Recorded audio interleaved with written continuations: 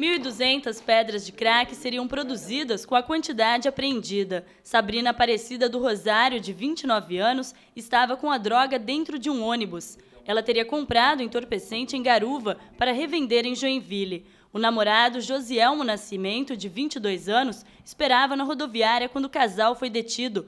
O delegado conta que a dupla vinha sendo monitorada por uma divisão criminal que investiga o tráfico de drogas na região.